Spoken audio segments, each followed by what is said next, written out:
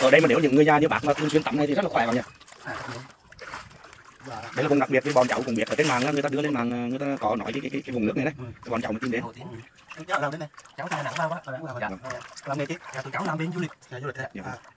Thôi nếu như dẫn người ta đi du lịch thì chơi đang được dạ đúng rồi. Ở đây là nếu như mà đi du lịch thì có cháu chơi cái gì? Chơi cái sinh thái. Dạ đúng rồi sinh thái. Du lịch sinh thái á, Dạ.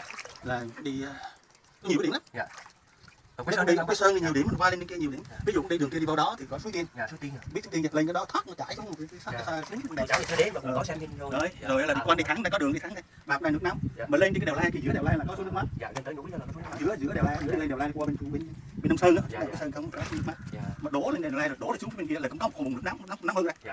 mà nếu mà người ta không không khai thác thì chúng ta người ta không tám biết tám vậy đó dạ đúng rồi. Rồi lên đây rồi lên cái vùng đèo bường đèo bình đấy để bình để bình ừ đèo bình nó nói như này. Giống Dạ. như kiểu là cái vùng miền nam đấy dạ dạ cái cây nhất Cái cái cây. cây cây Ừ. dạ. Rồi lên cái đèo bình đó rồi lên rồi lên đông sơn một thang đông sơn lên một thang lên cái đó dựng. Dạ. cái những cái điểm mà bây giờ mình cứ dẫn đi dẫn đi du lịch thì nó ân đi cứ đi vậy đấy dạ tương lai cháu sẽ làm gì đó. Dạ. Còn nếu đi ngõ này á, thì vào đây là vào hồ An Lam hồ hồ đi An Lam Dạ. đi lại An Lam. Dạ. lên nữa thì lại An Lam đi vào núi nó có cái nơi là bằng cát bằng thùng. Cái vực ong Dạ. cái cái cái cũng dễ. Dạ. Mấy cái điểm đó, hai cái là trong du lịch sinh thái thì người ta đi dạ rồi. du lịch tốt lắm nhất là những cái như thế này này. Wow giờ tắm sướng hơn năm chút wow nóng cả cơ thể luôn. Wow. Nó còn thang luôn quá. Đã đó ở, ở đây mà đi làm về mệt á, ra cái múc nước này dồi lên người là chắc là nó khỏe lên.